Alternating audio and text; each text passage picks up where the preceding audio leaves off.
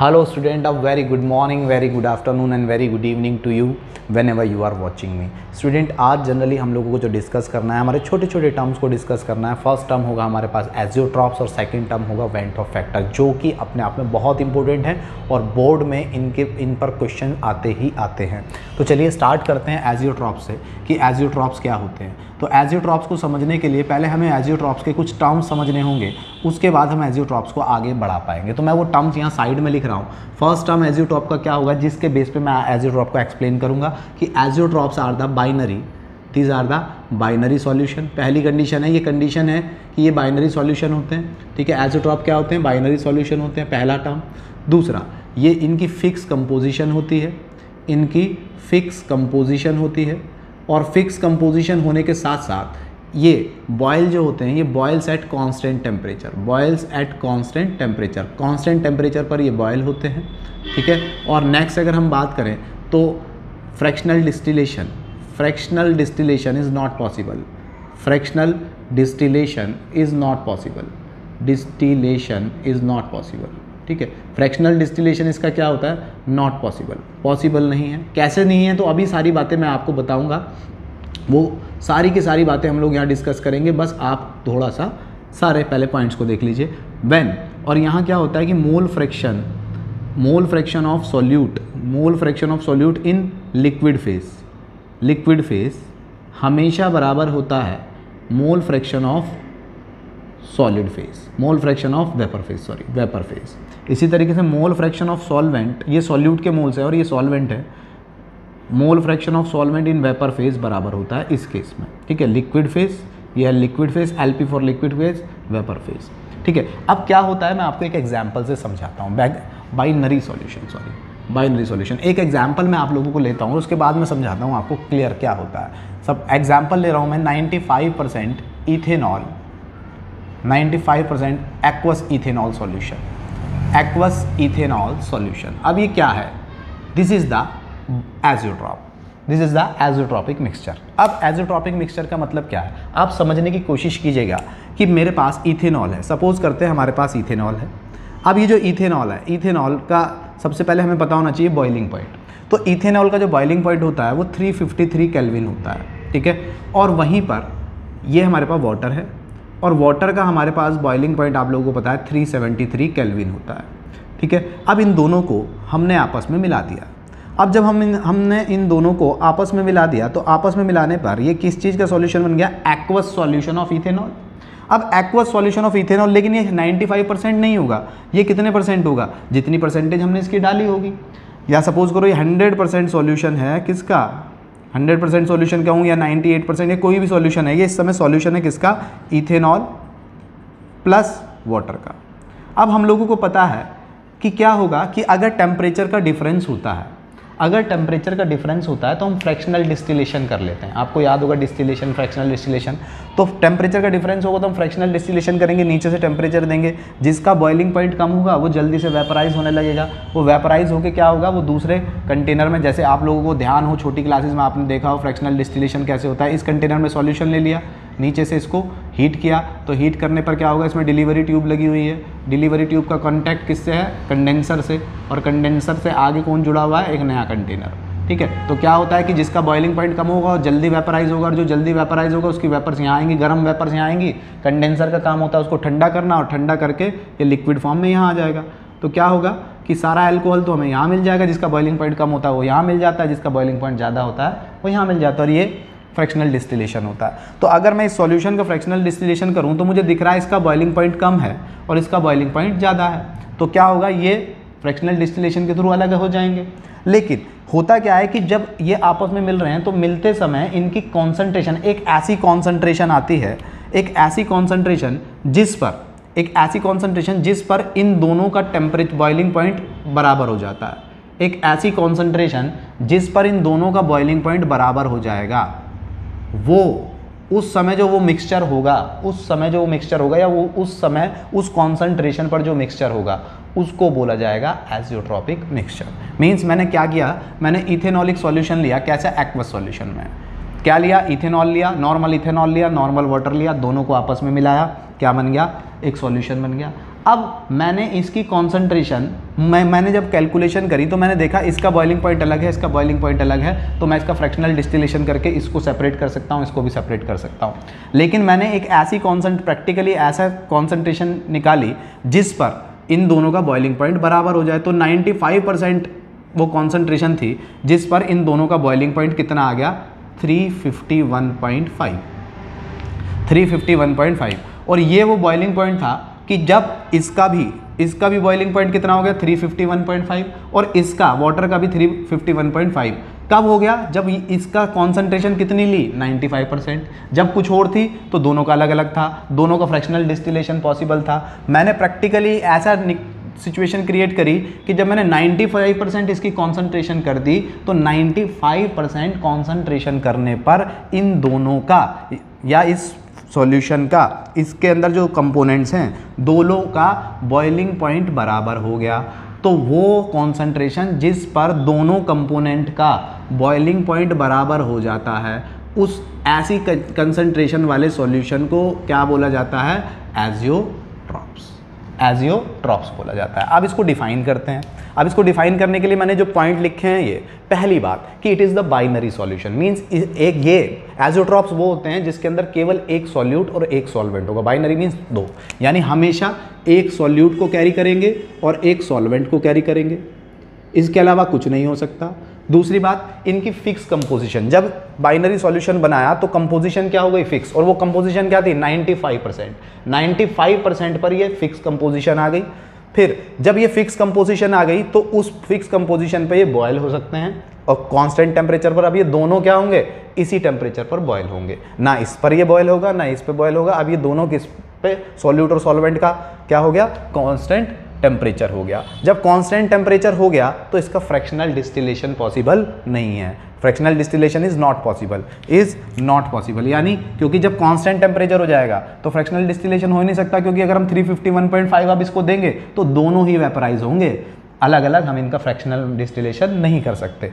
और ये fractional distillation क्यों नहीं होता? तो उसका रीज़न है कि सॉल्यूट का जो मोल फ्रैक्शन होता है लिक्विड फेस में, वो सॉल्वेंट के मोल फ्रैक्शन सॉल्यूट का मोल फ्रैक्शन लिक्विड फेस में, सॉल्यूट का मोल फ्रैक्शन वेपर फेस के बराबर हो जाता है। इसी तरीके से सॉल्वेंट का जो मोल फ्रैक्शन होता है लिक्विड फेस में, जब सॉल्वेंट के mole fraction of, mole fraction of vapour phase में बराबर हो जाते हैं तो उस कंडीशन में ये पॉइंट हमें मिलता है और यहाँ पर बॉइलिंग या डिस्टिलेशन करना पॉसिबल नहीं होता है। और इसी को बोला जाता है एजियोट्रॉपिक मिक्सचर तो बच्चों एजियोट्रॉपिक मिक्सचर का मतलब होता है एक ऐसा बाइनरी सॉल्यूशन जिसकी कंपोजिशन भी फिक्स होती है, जो एक कांस्टेंट टेम्परेचर पर बॉयल होता है और उसका फ्रैक्शनल डिस्टिलेशन करना पॉसिबल ना हो। तो ऐसे सॉल्यूशन को क्या बोला जाता है? बाइनरी सॉल्यूशन अब मैं इसकी इन पॉइंट्स के बेस पर डेफिनेशन आपको लिखता हूँ। चलिए। अब होप आपको समझ में आ गया होगा। अब डेफिनेशन क्या कहती है? तो डेफिनेशन कहती है कि एजियोट्रॉप्स इसकी डेफिनेशन क्या कहेगी? तो क्या लिखेंगे हम? Azeotropes are binary mixture azeotropes are binary mixture having having same composition having same composition in liquid same composition in liquid and vapour phase same composition in liquid and vapor phase and and boils at and boils at constant boils at constant temperature boils at constant temperature are called as are called as azeotrophs are called as azeotrophs अब देखिए definition क्या कह रही है azeotropes are binary mixture azeotrope वो binary mixture होते हैं, वो दो कंपोनेंट से मिलकर जिसमें एक सॉल्यूट और एक सॉल्वेंट होता है,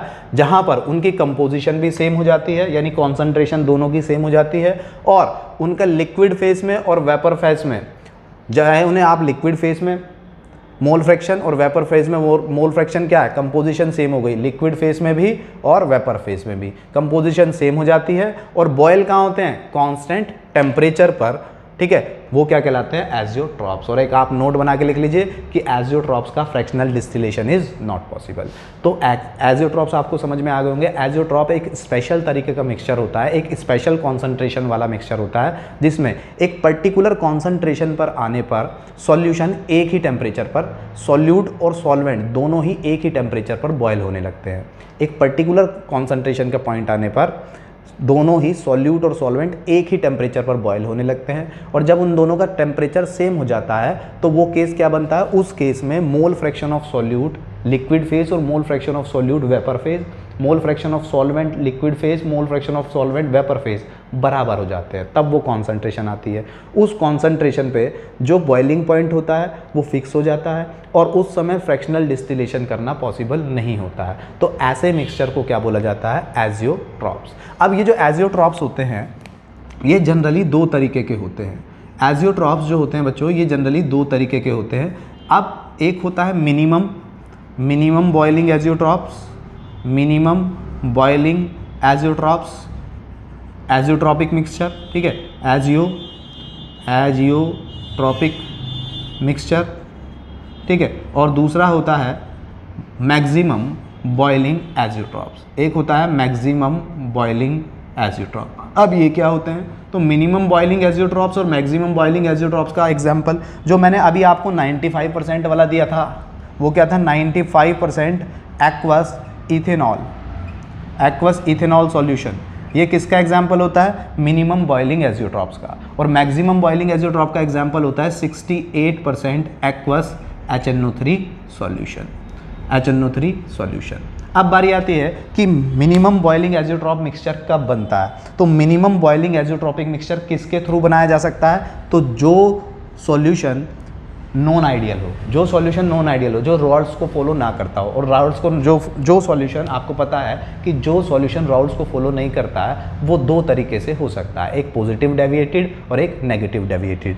तो यहाँ पर मिनिमम बॉइलिंग एजियोट्रॉप्स किससे मिलकर बनाए जा सकते हैं? तो minimum boiling azeotropes positive deviation वाला positive deviated positive deviated non ideal solution से positive, deviated, non ideal solution से हम क्या बना सकते हैं? मिनिमम एजियोट्रॉपिक, बॉइलिंग एजियोट्रॉप्स, ठीक है? Azeotropic solution.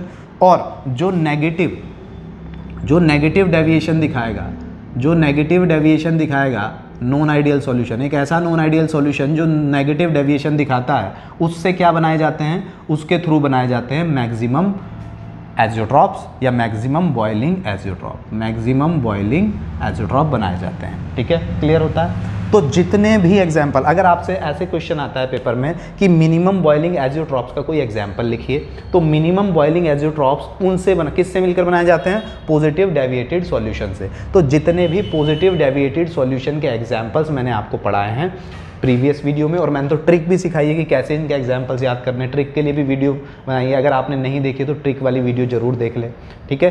तो कैसे ट्रिकी वे में इनके एग्जाम्पल्स याद किए जाते हैं, वो भी मैंने आपको सिखाया हुआ है। तो जितने भी positive deviated non ideal solution के एग्ज़ाम्पल होते हैं, वो सब किसके एग्ज़ाम्पल हो सकते हैं?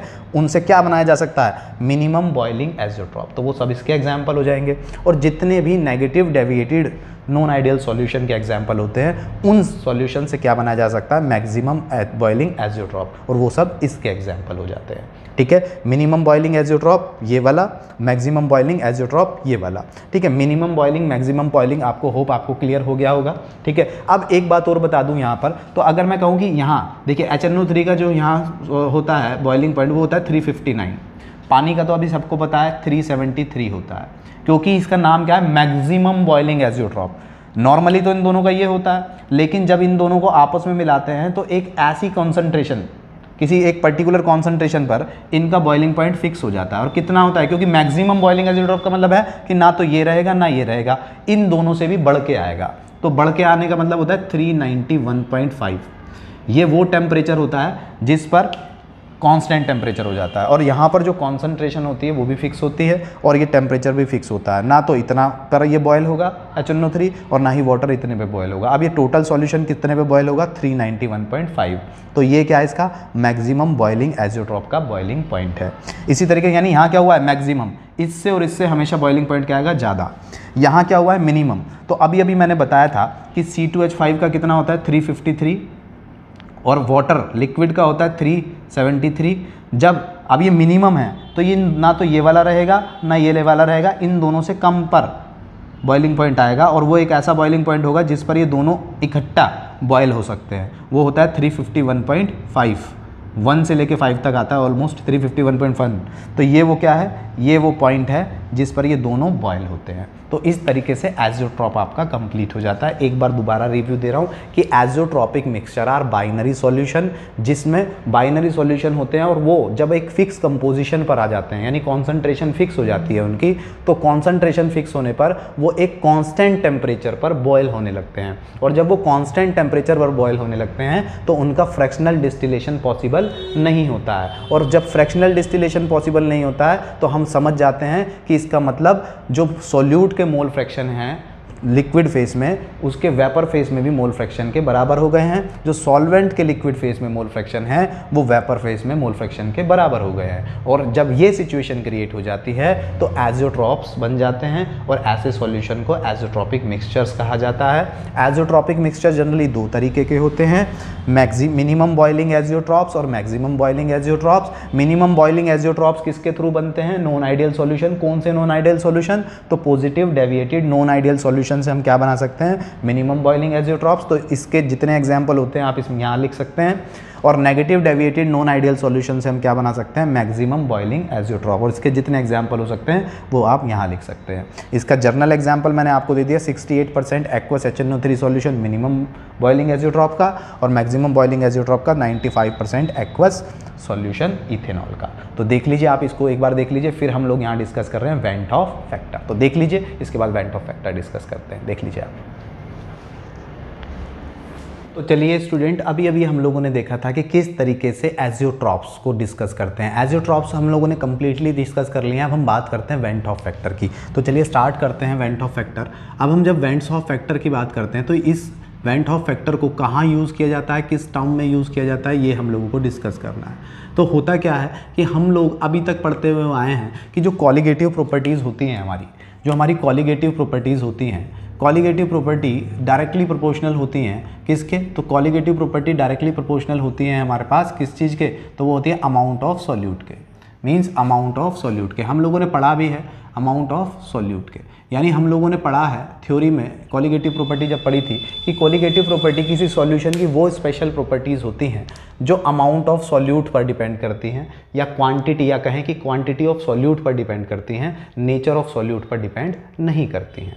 फॉर एग्ज़ाम्पल मैंने क्या कहा? मैंने हमने क्या किया? हमने सॉल्वेंट की फॉर्म में हमने वाटर लिया था यहाँ पर और वाटर के साथ हम लोगों ने यहाँ पर ग्लूकोज वन मोल ग्लूकोज हमने इसमें पोर किया। वन मोल ग्लूकोज जब हमने यहाँ पर डाला तो वन मोल ग्लूकोज में क्या होगा? और इसी तरीके से मैंने एक और सॉल्यूशन बनाया। एक और सॉल्यूशन बनाया, मैंने क्या किया? यहाँ मैंने वाटर लिया। यहाँ मैंने वाटर लिया और यहाँ पर मैंने एक मोल यूरिया डाला। एक मोल यूरिया डाला। अब हमने वहाँ देखा था कि क्या इनकी प्रॉपर्टीज़ चेंज आएँगी? बिल्कुल नहीं आएँगी। क्यों नहीं आएँगी? क्योंकि हम, ये किस पर कोलिगेटिव प्रॉपर्टी किस पर डिपेंड करती है? अमाउंट ऑफ़ सॉल्यूट पर। और यहाँ सॉल्यूट का अमाउंट कितना है? वन मोल यहाँ सॉल्यूट का अमाउंट कितना है? One mole nature of solute पर डिपेंड नहीं करती है। हमें नहीं पता कि वो ग्लूकोज है या यूरिया है। नेचर क्या है? इस बात पर डिपेंड नहीं करती है। वो तो अमाउंट पर डिपेंड करती है। तो यहाँ पर जो इसकी कोलिगेटिव प्रॉपर्टी होगी, वो इक्वल टू होगी कोलिगेटिव प्रॉपर्टी ऑफ़ ग्लूकोज किसके बराबर आएगी? कोलिगेटिव प्रॉपर्टी ऑफ़ यूरिया क्यों आएगी? तो क्योंकि colligative property amount of solute पर डिपेंड करती है और दोनों ही सॉल्यूट का अमाउंट सिमिलर है, इसलिए कोलिगेटिव प्रॉपर्टी भी सिमिलर आएगी। लेकिन प्रॉब्लम कहाँ आती है? प्रॉब्लम आती है वहाँ पर जब हमारे पास कोई ऐसा, देखिए, ये सॉल्यूट कैसा था? ये सॉल्यूट था जो कि ना तो एसोसिएशन कर रहा है और ना ही डिसोसिएशन कर रहा है। नॉन वोलेटाइल ये कैसा था? नॉन वोलेटाइल था। नॉन वोलेटाइल का मतलब ना तो ये पानी में जाकर ब्रेक हो रहा है और ना ही ये पानी में जाकर ऐड हो रहा है। ठीक है? ये डिज़ोल्व तो हो रहा है, लेकिन ना तो ये डिसोसिएशन कर रहा है और ना ही ये एसोसिएशन कर रहा है। मीन्स ना तो ये पानी में जाके एक मोल से दो मोल बन रहा है, ना तो ये डिसोसिएट हो रहा है और ना ही ये पानी में जाके एक मोल से आधा मोल हो रहा है। ना तो ये कम हो रहा है, ना ज़्यादा हो रहा है, उतना ही रहा है। तो कोई प्रॉब्लम नहीं है। तो हम, हमने सीखी है सारी कॉलिगेटिव प्रॉपर्टीज़ निकालना। लेकिन जब हमारे पास कोई ऐसा सॉल्यूट आ जाता है, जो लिक्विड में जाकर या तो एसोसिएशन करे या फिर डिसोसिएशन करे, ठीक है? लिक्विड तो मैं बताता हूँ कि या तब केस क्या बनता है? तो या तो अगर हमारे पास कोई सॉल्यूट ऐसा हो जो डिसोसिएशन करे अब अगर वो डिसोसिएशन करेगा तो डिसोसिएशन का मतलब है पानी में जाकर टूटे। फॉर एग्ज़ाम्पल जैसे मैंने क्या किया? मैंने पानी लिया और पानी में एक मोल एनएसीएल डाल दिया। वन मोल एन आपको यहाँ पर डाल दिया। अब वन मोल एन डाल दिया। तो अब मैं क्या कहूँ कि क्या जो इसकी क्वालिगेटिव प्रॉपर्टीज़ आएँगी, इसके और इसके बराबर होंगी? तो बिल्कुल नहीं होंगी। इन दोनों की प्रॉपर्टी बराबर आप कहेंगे, सर, मोल अमाउंट तो अब भी सेम है। अमाउंट सेम है, लेकिन सॉल्यूट का नेचर चेंज हो चुका है। हम जब डाल रहे हैं, यानी हमारा थ्योरिटिकल हम थ्योरिटिकल क्या देख रहे हैं कि हम एक मोल डाल रहे हैं। लेकिन जब ये एक मोल इसके अंदर जाएगा तो ये आयंस में ब्रेक हो जाएगा एन प्लस देगा और सी एल माइनस देगा। और कोई भी चीज़ अपने आप में क्या होती है? वन मोल तो यहाँ हमें इसके अंदर जाने पर क्या मिलेगा? वन मोल तो मिलेंगे हमें सोडियम आयंस वन मोल्स मिलेंगे हमें सोडियम आयंस और वन मोल मिलेंगे हमें यहाँ पर क्लोराइड आयंस। जब हमें वन मोल सोडियम आयंस मिलेंगे और वन मोल क्लोराइड आयंस मिलेंगे तो इसका मतलब क्या होगा कि एक मोल सोडियम आयंस और एक मोल क्लोराइड आयंस का मतलब है कि हमें कितना अमाउंट मिला? Two mole. और डाला कितना था? One mole. तो सीधी सी बात है, अब कोलिगेटिव प्रॉपर्टी ऐसे नहीं आएगी। और ये कौन सा केस बना? डिसोसिएशन का, कि हमारा सॉल्यूट जाकर अंदर डिसोसिएट हो रहा है। और amount of substance amount of solute बढ़ गया। एक मोल से कितना बन गया? दो मोल। तो यहाँ पर क्वालिगेटिव प्रॉपर्टी डिफरेंट आती हैं। अब डिफरेंट क्वालिगेटिव प्रॉपर्टीज़ को कैसे क्या किया जाए? तो उसकी, वो किसके हेल्प से करते हैं? वेंट ऑफ़ फैक्टर की। तो वेंट ऑफ़ फैक्टर को किससे रिप्रेजेंट करते हैं? तो वेंट ऑफ़ फैक्टर को रिप्रेजेंट करते हैं आई से। ठीक है? आई से। आप क्या करते हैं? फॉर एग्ज़ाम्पल जैसे एन का मैं केस ले रहा हूँ। तो एन था। एन जब टूटेगा तो हमें पता है एन प्लस और सी माइनस में ब्रेक होगा। सपोज़ करते हैं time t is equal to zero पर, ठीक है, ये वन मोल था, और ये जब ज़ीरो पर जब अभी रिएक्शन स्टार्ट ही नहीं हुई थी तो ये ज़ीरो था और ये भी ज़ीरो था, ठीक है? लेकिन time t is equal to t पर, किसी टाइम पर, मैंने कहा कि ये पूरा ब्रेक हो गया। जब ये पूरा ब्रेक हो गया, क्या मतलब? ये तो हो गया ज़ीरो, और जब ये ज़ीरो हो गया तो ये कितने बने? वन मोल और वन मोल। अब जो भी हमारे पास time t is equal to zero पर होता है, उसको हम बोलते हैं थ्योरिटिकल ये क्या होती है? थ्योरिटिकल थ्योरिटिकल वैल्यू होती है, ठीक है? तो क्या होगा? पॉइंट ऑफ़ फैक्टर आई निकालने के लिए हमारे पास फॉर्मूला होता है i is equal to observed observed colligative property upon theoretical upon theoretical colligative property हम इसको ऐसे भी पढ़ते हैं आफ्टर एनालिसिस यानी एनालिसिस करने के बाद, जब एनालिसिस करा, जब वो गया, टूटा, हमने देखा टूटा तो आफ्टर एनालिसिस हम इसे क्या ले सकते हैं? आफ्टर एनालिसिस और ये नीचे वाला होता है बिफोर एनालिसिस एनालिसिस करने से पहले, ठीक है? तो ऐसे भी हम इसको यूज़ कर सकते हैं। तो दोनों टर्म में यूज़ कर सकते हैं। और ऑब्ज़र्व ऑब्ज़र्व का मतलब जो अब हमने ऑब्ज़र्व करी है। हमने ये वाली प्रॉपर्टी तो ऑब्ज़र्व करी है, और ये वाली प्रॉपर्टी हमने डाली थी जो थ्योरी की फॉर्म में थी। तो ऑब्ज़र्व कितनी है? देखते हैं। I is equal to observe वाला डाटा ये है। तो इस सबको जोड़ देते हैं। Zero plus one plus one और थ्योरिटिकल वाला डाटा ये रहा। तो वन। तो क्या आया? Two upon one means final क्या आया? टू। तो इसकी कॉलिगेटिव प्रॉपर्टी कितनी आई? I is equal to two i की वैल्यू कितनी आई? टू। तो डिसोसिएशन के केस में तो आई की वैल्यू क्या आ रही थी? वन। लेकिन अगर मैं यहाँ कहूँ तो आई की वैल्यू कितनी आएगी? यहाँ आई की वैल्यू वन ही आएगी। या आई की वैल्यू यहाँ आएगी नहीं, क्योंकि आई तो हम उनके लिए यूज़ करते हैं जो डिसोसिएट या एसोसिएट होते हैं। ठीक है? तो आई की वैल्यू टू आई। अच्छा यहाँ से एक और ऑब्जर्वेशन निकला। कि इसका मतलब है कि अगर डिसोसिएशन का केस हो रहा है, यानी कोई सॉल्यूट जाकर ब्रेक हो रहा है तो वो जितने आयंस देता है, जितने आयंस देता है आई की वैल्यू भी उतनी ही होती है। देखो, इसने एन ने कितने आयंस दिए? एन प्लस और सीएल दो आयंस तो आई की वैल्यू कितनी बनी? दो। ठीक है? तो आपको याद रखना है कि अगर कोई स्ट्रॉन्ग इलेक्ट्रोलाइट है स्ट्रॉन्ग मीन्स जो पूरा टूट रहा है। In case of strong electrolyte i is always equal to number of ions produced जितने आयंस प्रोड्यूस्ड होते हैं, उतना ही आई आता है। अगर वो स्ट्रॉन्ग इलेक्ट्रोलाइट है मीन्स वो पूरा ब्रेक हो रहा है तो ठीक है? तो ये तो बना आपका कौन सा केस? डिसोसिएशन का केस। ये केस बना आपका डिसोसिएशन का। क्लियर होता है? और डिसोसिएशन में फॉर्मूला क्या है? आई निकालने का observed qualitative property upon theoretical qualitative property या फिर आफ्टर एनालिसिस यानी एनालिसिस करने के बाद upon before analysis before analysis करने से पहले। ठीक है? तो हमने डाटा रखा और इस तरीके से डिसोसिएशन का केस बन गया। अब बारी आती है डिसोसिएशन के बाद बारी आती है हमारे पास एसोसिएशन की। तो एसोसिएशन के केस में देखते हैं क्या होगा? एसोसिएशन के केस में जब हम देखेंगे तो एसोसिएशन का मतलब क्या होता है स्टूडेंट्स एसोसिएशन का मतलब दो चीज़ों का जुड़ना। यानी दो, जैसे ये एक चीज़ अलग है, ये एक अलग है, ये दो अलग अलग चीज़ें हैं और इन दोनों को मैंने जोड़ के क्या बना दिया? एक। तो पहले क्या थी? दो चीज़। अब क्या है? एक चीज़। तो दो का आपस में जुड़ना। ठीक है? तो हमें पता है और नहीं पता तो आपको पता होना चाहिए कि जो एसिटिक एसिड होता है, जब एसिटिक एसिड को बेंजीन के सॉल्यूशन में डाला जाता है तो एसिटिक एसिड को बेंजीन के सॉल्यूशन में डालने पर ये दो से क्या बन जाता है? एक। ये दो से क्या बन जाता है एक? ये दो क्या थे? अलग अलग मॉलिक्यूल ये क्या है? डायमर बन गया. डायमर मीन्स दो मॉलिक्यूल आपस में जुड़ गए. पहले ये दो अलग अलग थे, ये आपस में जुड़ गए. तो एसोसिएशन हो गया. पानी में जाने पर या बेंजीन में जाने पर एसोसिएशन हो गया. अब time t is equal to zero पर सपोज़ करते हैं ये कितना था? One time t is equal to zero पर ये वन था तो ये कितना होगा? ज़ीरो अभी तो रिएक्शन स्टार्ट ही नहीं हुई है. और अगर हम कहें time t is equal to t पर, आप खुद देखिए. दो अब time t is equal to t पर दो को किससे कंपेयर कर रहे हो? एक से। तो एक को कितने से कंपेयर करोगे? आधे से। दो को हम कंपेयर कर रहे हैं एक से, ये दो हैं। लेकिन ये कितना? है एक। डायमर बन गया एक। जब दो को इक्विवेलेंट करा हमने एक के तो एक को इक्विवेलेंट करेंगे हाफ़ से। तो हमने कहा कि अगर सपोज़ करते हैं हम लोग कि अगर यहाँ ये वन है, ये ज़ीरो बना। और अगर मैं कहूँ time t is equal to zero पर time t is equal to zero पर ये या आपको तो, टोटल अमाउंट निकाल के दिखाता हूँ नहीं तो कन्फ्यूज़ हो गए मैं कहता हूँ ये हंड्रेड था। Initially time t is equal to zero पर ये हंड्रेड था। तो ये कितना था? ज़ीरो ठीक है? ये कितना था? ज़ीरो अब मैंने कहा कि time t is equal to zero पर इसमें से फिफ्टी बाहर चला गया। फिफ्टी बाहर चला गया। यानी फिफ्टी कितने में कन्वर्ट हो गया?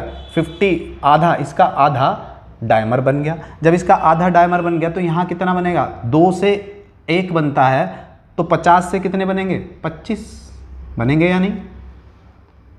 आप खुद देखिए ना कि 100 एटम्स थे। 100 एटम कब थे? यानी हमने 100 कंपेयर कब करे? जब ये दो थे। मीन्स ये 100 थे तो तब ये ज़ीरो थे। जब 100 में से 50 चले गए 100 में से 50 चले गए तो कितने बनेंगे?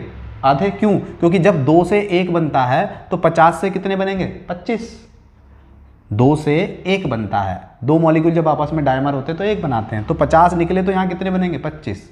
क्योंकि दो से एक बनता है तो पचास से पच्चीस बनेंगे। तो लगा दीजिए आई की प्रॉपर्टी आई क्या होता है? Observed observed colligative property upon theoretical theoretical colligative property तो ऑब्जर्व्ड कितनी है हमारे पास? Hundred minus fifty plus twenty और थ्योरिटिकल जो टी टू ज़ीरो पर होती है, वो थ्योरिटिकल होती है। तो अपॉन हंड्रेड यानी आप इसे सॉल्व करोगे तो आएगा सेवेंटी फाइव अपॉन हंड्रेड और ये आ जाएगा आपका zero point seven five zero point seven five तो इसका मतलब क्या है? कि एसोसिएशन के केस में आई की वैल्यू हमेशा हमेशा आई की वैल्यू कितने आई है? वन से कम। तो एसोसिएशन के केस में आई की वैल्यू हमेशा लेस देन वन आएगी। डिसोसिएशन के केस में आई की वैल्यू हमेशा अबव देन वन आएगी। एक तो ये ऑब्जर्वेशन भी आपको पता होना चाहिए। तो ऑब्ज़र्व डिसोसिएशन के केस में आई ये है एसोसिएशन के केस में आई ये है। डिसोसिएशन के केस में आई की वैल्यू हमेशा ज़्यादा आती है एसोसिएशन के केस में आई की वैल्यू कम आती है। जब हमें आई निकालना आ गया, आप इसको पहले इसको देख लीजिए, फिर मैं आगे बताता हूँ। देख लीजिए आप इसको। होप आपने इसको देख लिया होगा। अब मैं इसमें थोड़ा सा रब कर रहा हूँ। तो मैं ये कह रहा हूँ कि जब हमें आई निकालना आ गया, बच्चों, जब हमें आई फाइंड करना आ गया तो आई फाइंड करना जब हमें आ गया तो आप देखिए अब हम क्या कर सकते हैं? अब अगर हमें कोई ऐसा सॉल्यूट मिले जो एसोसिएशन या डिसोसिएशन कर रहा है तो हम उसके साथ कॉलिगेटिव प्रॉपर्टी को कैसे फाइंड करेंगे? तो हमने एक कॉलिगेटिव पढ़ी है R L V P relative lowering in vapour pressure जो कि मोल फ्रैक्शन ऑफ़ सॉल्यूट के बराबर होती थी। तो हम, और इसमें सॉल्यूट कैसा डाला गया है? कोई एसोसिएशन वाला या डिसोसिएशन वाला। तो हम क्या करेंगे? हम उसमें इनटू आई की वैल्यू निकाल के उसकी वैल्यू कर देंगे आई इसी तरीके से हमने एलिवेशन इन बॉइलिंग पॉइंट पढ़ा था के बी इंटू एम तो हम इसमें भी क्या कर देंगे? इंटू आई चाहे एसोसिएशन का केस हो या डिसोसिएशन का। एसोसिएशन भी सिखा दिया अभी डिसोसिएशन भी सिखाया एसोसिएशन भी सिखाया।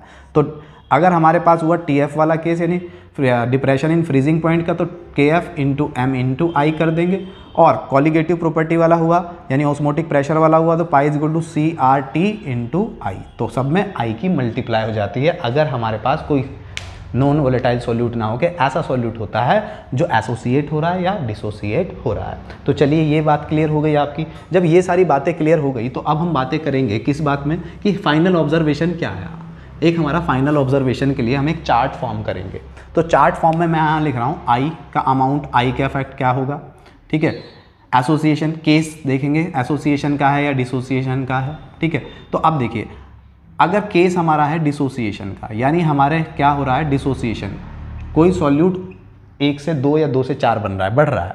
तो डिसोसिएशन के केस में एक कंक्लूजन अभी हमने फाइंड किया कि आई की वैल्यू ऑलवेज ग्रेटर देन आएगी वन आई की वैल्यू ऑलवेज ग्रेटर देन आएगी वन तो केस तो हो गया ये। अब हम कहेंगे कि कॉलीगेटिव प्रॉपर्टी पर क्या इफ़ेक्ट पड़ेगा? तो colligative property directly proportional to क्या होती है? अमाउंट ऑफ़ सॉल्यूट जब अमाउंट ऑफ़ सोल्यूट बढ़ रहा है, एक से दो बन रहे हैं तो कॉलीगेटिव प्रॉपर्टी भी क्या होगी? इंक्रीज तो अगर केस बन रहा है डिसोसिएशन का तो कॉलीगेटिव प्रॉपर्टी की वैल्यू हमेशा इंक्रीज होगी। आई की वैल्यू हमेशा एक से ज़्यादा आएगी। कॉलीगेटिव प्रॉपर्टी की वैल्यू तो हो गई इंक्रीज क्लियर हो गया? कॉलीगेटिव प्रॉपर्टी की वैल्यू क्या हो गई? इंक्रीज अमाउंट ऑफ़ सोल्यूट आप मुझे बताइए अमाउंट ऑफ़ सोल्यूट सोल्यूट का अमाउंट बढ़ेगा या घटेगा? अभी अभी देखा डिसोसिएशन के केस में एक मोल से दो मोल बन रहे हैं। तो अमाउंट ऑफ़ सोल्यूट क्या होगा? इंक्रीज अमाउंट ऑफ़ सोल्यूट क्या होगा? Increase molar mass molar mass क्या होगा भाई? मोलर मास बताइए आप मुझे। मोलर मास इंक्रीज होगा या डिक्रीज होगा? मोलर मास इंक्रीज होगा या डिक्रीज होगा? देखिए क्वालिटेटिव प्रॉपर्टी बढ़ी अमाउंट ऑफ़ सॉल्यूट भी बढ़ा क्या मोलर मास बढ़ेगा या घटेगा? आप मुझे खुद बताइए कि मोलिकुलर वेट अब बढ़ना चाहिए या घटना चाहिए? सोचिए ज़रा आप इसके बारे में। इसको मैं अभी दो मिनट के लिए छोड़ रहा हूँ, तब तक आप सोचिए, मैं आगे करता हूँ। अगर हम एसोसिएशन का केस कर रहे हैं और हम कह रहे हैं आई एसोसिएशन के केस में हमने देखा था आई लेसर देन वन होता है। तो आई लेसर देन वन होगा, यानी आई की वैल्यू हमेशा हमेशा एक से कम आएगी अगर केस हमारा हो रहा है एसोसिएशन का। केस हमारा हो रहा है एसोसिएशन का। एसोसिएशन का मतलब है कि वो घट रहा है। ठीक है कॉलीगेटिव प्रॉपर्टी की बात करें, जब एसोसिएशन हुआ है तो अमाउंट ऑफ़ सॉल्यूट कम हुआ है, दो से मिलकर एक हो गए हैं। जब अमाउंट ऑफ़ सॉल्यूट कम हुआ है तो कॉलीगेटिव प्रॉपर्टी भी कम होगी डिक्रीज हो जाएगी। अमाउंट ऑफ़ सॉल्यूट की बात करूँ तो वो भी कम हो जाएगा। और जब वो भी कम हो जाएगा तो मोलर मास पर क्या इफ़ेक्ट पड़ेगा? बताइए, क्या होगा? आपने वो वाला सोच लिया होगा। तो आप देख लीजिए, यहाँ पर डिसोसिएशन के केस में मॉलिकुलर वेट बढ़ जाता है। ओ सॉरी मॉलिकुलर वेट घट जाता है डिक्रीज हो जाता है और एसोसिएशन के केस में मॉलिकुलर वेट बढ़ जाता है। ठीक है? देखो एन था। एन था। तो इसका मॉलिकुलर वेट कितना था? 58.5 अगर आप निकालते हो नॉर्मली थ्योरेटिकली लेकिन ये डिसोसिएट हो गया। अब ये 58.5 थोड़ी रह गया तो टुकड़ों में टूट गया, यानी कम हो गया। इसका अलग हो गया, इसका अलग हो गया तो टुकड़ों में टूट गया, यानी मोलिकुलर मास क्या हो गया? कम। एसोसिएशन के केस में क्या था कि ये ये था C H three C double H इसका कोई मोलर मास था, ठीक है? और ये जाके दो का एक बन गया तो कुछ जुड़ा है। जब जुड़ा है तो मॉलिकुलर वेट बढ़ेगा। तो यहाँ पर इस केस में मॉलिकुलर वेट बढ़ता है और इस केस में मॉलिकुलर वेट घटता है। ये भी आपको पता होना चाहिए, ये चार्ट बहुत इंपॉर्टेंट है। यहाँ से एक कंक्लूजन और भी निकल रहा है कि कॉलीगेटिव प्रॉपर्टी मोलर मास के इन्वर्सली प्रोपोर्शनल होती है और कॉलीगेटिव प्रॉपर्टी यहाँ भी मोलर मास के इन्वर्सली प्रोपोर्शनल होती है। तो कॉलीगेटिव प्रॉपर्टी मोलर मास के इन्वर्सली क्या होती है? प्रोपोर्शनल मोलर मास के होती है या नहीं होती है? हमें दिख रहा है साफ़। और अगर यहाँ दिख रहा है तो हम एक फॉर्मूला और बना सकते हैं। कैसे? हमने आई इज़ इक्वल टू लिया था observed colligative property observed colligative property upon theoretical colligative property theoretical theoretical colligative property तो ऑब्जर्व्ड कॉलीगेटिव प्रॉपर्टी जो है, कोई भी कॉलीगेटिव प्रॉपर्टी है, वो मोलर मास की तो रिवर्स होती है। तो यहाँ क्या रख तो मैं इसके लिए क्या फॉर्मूला बन सकता है? Observe colligative property molar mass के रिवर्स है। किसके? तो रिवर्स का मतलब क्या होगा? देखो, अब हम इस फॉर्मूले से हम ये भी प्रूव कर सकते हैं कि i is equal to theoretical theoretical molar mass upon observed molar mass upon observed molar mass ये कैसे किया? तो ये जब इसके, ये एक दूसरे के इन्वर्सली प्रोपोर्शनल हैं। ऑब्जर्व्ड किसके होगा? ऑब्जर्व्ड थ्योरिटिकल के बराबर है। थ्योरिटिकल ऑब्ज़र्व के बराबर है, क्योंकि ये एक दूसरे के इन्वर्सली प्रोपोर्शनल है तो एक फार्मूला हमारा यहाँ से आ गया। अगर मोलर मास के केस में आई निकालना है, अगर मोलर मास दिया है और तब आई फाइंड करा रहा है तो i is equal to theoretical molar mass upon observe molar mass लगाएँगे, और observe colligative property upon theoretical colligative property और मैंने अभी बताया था ऑब्ज़र्व को हम क्या कह सकते हैं? After analysis upon before analysis इस तरीके से हम कंप्लीट कर लेते हैं। अब पहले आप इसको देख लीजिए, फिर मैं आपको एक केस पढ़ा रहा हूँ, और वो केस होगा in case of weak electrolyte अगर ये, अभी तो हम बात कर रहे थे स्ट्रॉन्ग इलेक्ट्रोलाइट की। अगर वीक इलेक्ट्रोलाइट हो तो क्या होगा? तो फॉर्मूलेज कैसे निकलेंगे? यानी फार्मूला अगर हमें फार्मूला यूज़ करना हो तो कैसे हम उसको डेरिवेट करते हैं? आप इसको देखिए, फिर फार्मूला को यूज़ करते हैं। देख लीजिए आप इसको। स्टूडेंट अभी अभी हम लोगों ने देखा था कि किस तरीके से आई, यानी वेंट ऑफ़ फैक्टर निकाला जाता है। Observe colligative property upon theoretical colligative property, और मोलर मास के केस में हमने देखा था, theoretical molar mass upon observe molar mass. अब हम, अगर हमारे पास ये सारी बातें कब थी, जब कोई चीज़ एसोसिएट हो रहा है सॉल्यूट या डिसोसिएट हो रहा है, और वीक इलेक्ट्रोलाइट है। वीक सॉरी स्ट्रॉन्ग इलेक्ट्रोलाइट है। स्ट्रॉन्ग इलेक्ट्रोलाइट का मतलब जब वो डिसोसिएट हो रहा है तो पूरा टूट रहा है, और जब वो एसोसिएट हो रहा है तो सारे पार्टिकल्स आपस में जुड़ रहे हैं। लेकिन अगर हमारे पास कोई वीक इलेक्ट्रोलाइट हो तो वीक इलेक्ट्रोलाइट आप लोग जानते हैं, फिर भी मैं रिव्यू दे देता हूँ। एक ऐसा सॉल्यूट जो कंप्लीट आयनाइज तो हो, टूटे तो लेकिन, या जुड़े तो लेकिन ना तो पूरी तरीके से टूटे, ना ही पूरी तरीके से जुड़े। तो उसे क्या बोलते हैं? वीक इलेक्ट्रोलाइट बोलते हैं। तो अगर उस केस में हमें करना है वेंट ऑफ़ फैक्टर को फाइंड करना है तो वहाँ हमें निकालना होता है अल्फ़ा वहाँ हमें क्या निकालना होता है स्टूडेंट अल्फ़ा और अल्फ़ा होता है D O D D O D फिर मीन्स डिग्री ऑफ़ डिसोसिएशन ठीक है? डिग्री ऑफ़ डिसोसिएशन की मॉलिक्यूल कितना टूटा या फिर डिग्री ऑफ़ एसोसिएशन की मॉलिक्यूल कितना जुड़ा? तो उसे क्या बोलते हैं हम? अल्फ़ा अब अगर हम अल्फ़ा बोलते हैं और उसके लिए वीक इलेक्ट्रोलाइट के लिए अगर हम कहें कि in case of weak electrolyte अब वीक इलेक्ट्रोलाइट ले रहे हैं, पहली बात, आप समझिए। और केस हो रहा है, कौन सा वीक इलेक्ट्रोलाइट में क्या हो रहा है? डिसोसिएशन हो रहा है। अगर केस ले रहे हैं हम डिसोसिएशन और है हमारे पास वीक इलेक्ट्रोलाइट तो हम क्या करेंगे? सपोज़ करते हैं हमारे पास कोई एक्स है और एक्स कितना है? एन है। एक्स एन कोई मॉलिक्यूल है? ठीक है, जब ये टूटेगा तो ये सारे के सारे मॉलिक्यूल दे देगा। मतलब ये जब ये टूटेगा तो ये एन एक्स होना चाहिए था, ऐसे टूटेगा। लेकिन क्या हुआ, हमने देखा कि time t is equal to zero पर, ये हम कह रहे हैं इसका अमाउंट वन था। Time t is equal to zero पर इसका अमाउंट वन था तो तब तो एन एक्स बना ही नहीं होगा तो ये ज़ीरो ही होगा। तब तो ज़ीरो ही होगा। लेकिन हम कह रहे हैं कि time is equal to t पर, यानी किसी टाइम टी पर यहाँ से अल्फ़ा निकला, यानी पूरा नहीं टूटा है कुछ टूटा। तो जितना यहाँ टूटा उतना ही यहाँ बनेगा। और यहाँ देखिए, इतने एटम से एन एटम बनते हैं। तो अल्फ़ा से कितने अल्फ़ा बनेंगे? एन अल्फ़ा आ रही है बात समझ? भाई, इतने एटम से ये एक है। एक से एन बनते हैं। आप ये समझिए, एक से एन बनते हैं। ठीक है? या हम कहें कि एन से, देखिए यहाँ ये एन एटम है। ठीक है? और ये एक है। तो हम कह रहे हैं एक से एन बनते हैं तो एन से कितने बनेंगे? एन से वो रिवर्स हो जाएगा। इसी तरीके से तो वन में से अल्फ़ा निकला तो यहाँ एन से, एक एन से, देखिए, एक एन से एन बन रहे हैं। तो अल्फ़ा से कितने बनेंगे? एन अल्फ़ा अब अल्फ़ा से एन अल्फ़ा बनेंगे तो हमारे पास क्या है? Formula observed observed colligative property upon theoretical colligative property अब ऑब्जर्व्ड कितनी है? ये वाला डाटा तो हम देखें क्या होगा? One minus alpha plus n alpha upon theoretical colligative property का डाटा क्या है? वन. तो हमने कर दिया वन. अब i is equal to one minus alpha plus alpha हो गया तो i is equal to one minus alpha plus n alpha हो गया। अब अगर ये हो गया तो मैं यहाँ से क्या करूँ? मैं यहाँ से i is equal to one plus positive alpha यहाँ से कॉमन ले लूँ तो ये क्या बचेगा? यहाँ बच जाएगा आपका वन माइनस एल अंदर बच जाएगा वन माइनस एन और अगर ये वन माइनस एन बचा है, ठीक है, यानी i is equal to one minus alpha n plus x बचा, यानी अल्फ़ा बचा, हुआ यार अब अगर मैं इस वन को इधर ले आऊँ तो ये क्या हो जाएगा? I minus one is equal to alpha one minus n होगा या नहीं? और इस वन माइनस को भी इधर ले आऊँ तो क्या हो जाएगा? एक्चुअल में alpha is equal to i minus one upon one minus n तो ये फॉर्मूला आ गया। किसके लिए? अल्फ़ा और ये अल्फ़ा क्या है? डिग्री ऑफ़ डिसोसिएशन कि कितना टूटा।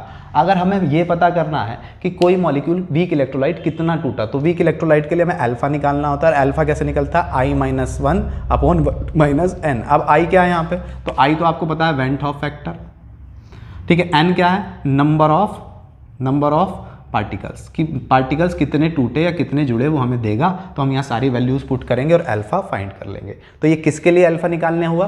वीक इलेक्ट्रोलाइट के लिए। कहाँ पर? डिसोसिएशन के केस में। अब यहीं पर मैं करता हूँ एसोसिएशन का केस अब एसोसिएशन के केस में हम कह रहे हैं एन एटम थे, यानी सौ एटम थे सपोज़ करते हैं। और सौ से मिलके ये क्या बन गया? ये एटम थे, ये मॉलिक्यूल में कन्वर्ट हो गए। ठीक है, ये एक्स एन हो गया। ठीक है, ये एटम्स थे। अब ये एटम मिलके आपस में क्या हो गए? कंबाइंड कंबाइंड हो गए, ये मॉलिक्यूल बन गए। अब अगर ये मॉलिक्यूल बन गए तो हम कह रहे हैं टी इजिकल टू ज़ीरो पर, ये सपोज़ करते हैं वन होगा तो ये ज़ीरो होगा। मैं कह रहा हूँ t is equal to t पर सपोज़ करते हैं वन में से अल्फ़ा निकला। अब आप खुद देखिए एन से वन बनता है एन से वन बनता है तो वन से कितना बनेगा? वन से कितना बनेगा? वन अपॉन एन बनेगा या नहीं बनेगा? तो इसी तरीके से एन से जब वन बन रहा है तो वन से क्या होगा? जब वन से अल्फ़ा निकल रहा है तो कितना बनेगा? अल्फ़ा बाय एन, यहाँ पर ये बनेगा। बस यही बात समझनी है, एन से वन बनता है। तो आप देखिए, एन से वन बनता है तो वन से वन बाय एन बनेगा। ठीक है? तो अगर यहाँ से अल्फ़ा निकलता है तो कितना बनेगा? अल्फ़ा बाय एन बनेगा। ठीक है? और लगा दीजिए colligative property i is equal to observed observed colligative property upon theoretical colligative property अब ऑब्जर्व्ड क्वालिगेटिव प्रॉपर्टी हमारे पास कौन सी है? ये वाली। तो लिख दीजिए one minus alpha plus alpha upon n. और थ्योरिटिकल कौन सी है? थ्योरिटिकल पूरा नहीं लिखा मैंने टी एच लिखा है। तो थ्योरिटिकल कितनी थी? वन। जो time t is equal to zero पर होती है, वो मैं बार बार बोल रहा हूँ थ्योरिटिकल होती है।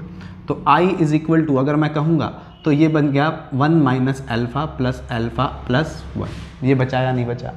अब अगर ये बच गया तो आप क्या करो? इस वन को इधर भेज दो तो i is equal i minus one.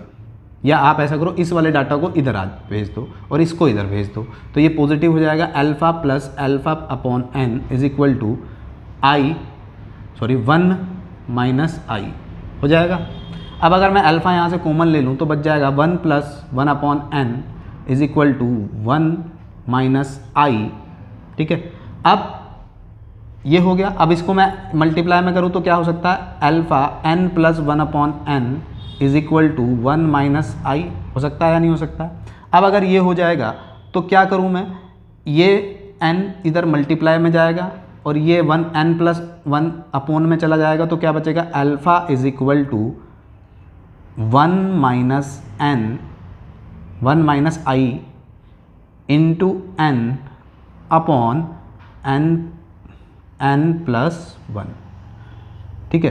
N plus one यानी अगर ये ना दिख रहा हो तो मैं यहाँ लिख देता हूँ। जब इसको सॉल्व करेंगे, यानी ये अल्फ़ा यहीं छोड़ेंगे, ये एन ऊपर मल्टीप्लाई में जाएगा एन प्लस वन नीचे आएगा। तो अल्फ़ा इज़ इक्वल टू हो जाएगा one minus I into N upon N plus one ठीक है? तो ये अल्फ़ा निकालने का ये डिग्री ऑफ़ एसोसिएशन अब इस केस में ये अल्फ़ा क्या है? डिग्री ऑफ़ एसोसिएशन एसोसिएशन के केस में से बोलेंगे? कितना एसोसिएट हुआ? तो ये डिग्री ऑफ़ एसोसिएशन है। One minus I into N upon N plus one ये डिग्री ऑफ़ एसोसिएशन निकालने का केस है। वीक इलेक्ट्रोलाइट के लिए डिग्री ऑफ़ एसोसिएशन यानी अल्फ़ा निकालने के लिए ये होता है। स्ट्रॉन्ग इलेक्ट वीक इलेक्ट्रोलाइट के लिए एसोसिएशन के केस में। वीक इलेक्ट्रोलाइट के लिए डिसोसिएशन के केस में अल्फ़ा निकालने का फॉर्मूला आ गया हमारे पास। I minus one upon one minus N I van't Hoff factor है। एन यहाँ पर नंबर ऑफ़ पार्टिकल्स हैं। सेम यहाँ पर है एन यहाँ पर नंबर ऑफ़ पार्टिकल्स हैं आई यहाँ पर वेंट ऑफ़ फैक्टर है। अब इनको कैसे अप्लाई करते हैं तो अभी हम वो नोमेरिकल्स में सीखेंगे। अभी आप यहाँ तक रखिए, मिलता हूँ आपसे नेक्स्ट वीडियो में। Thank you very much